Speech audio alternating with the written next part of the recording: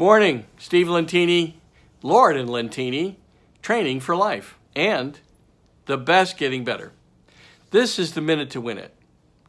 So I got a few questions this morning. One is, do you understand the relationship between giving and getting?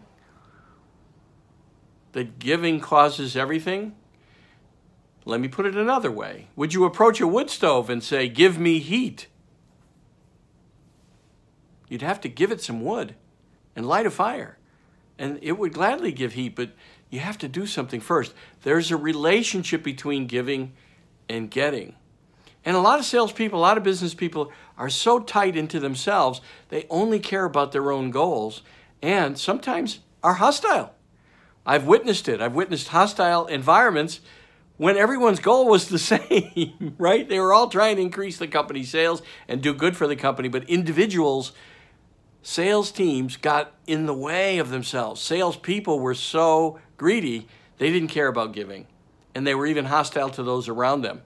So let me encourage you to be giving. Give to those around you, right? Tithe to your source of spiritual support. That's a big giving. And then charity.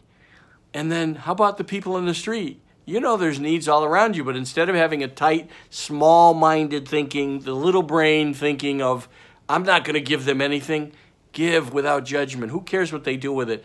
They have their own energy to put in the world. Hopefully, they'll do something well with it or they'll remember what you did. But the fact is, you can only control you. You do something good.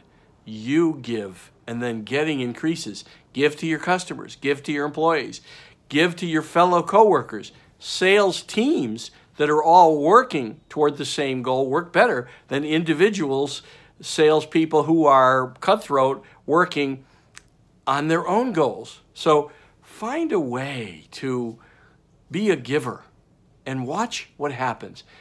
Experiment with that, right? Make your life a scientific experiment. Start to change things. When you change, things change. When you give, you'll get. Thank you.